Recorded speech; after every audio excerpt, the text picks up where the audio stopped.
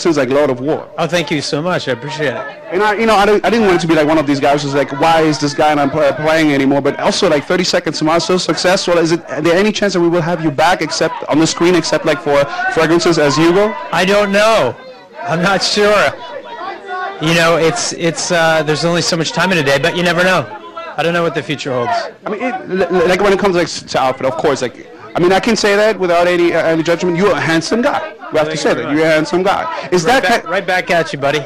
But is that kind of a uh, kind of a burden, you know, being considered as an actor, being considered as a rock, uh, rock star? I mean, how do you get along with this burden of being handsome?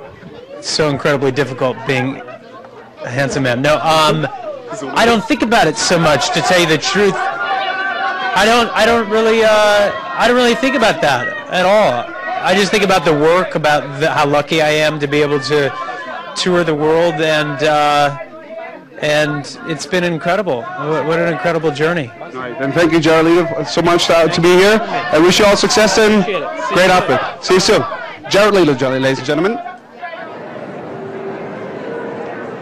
Ladies and gentlemen, we are getting closer to the huge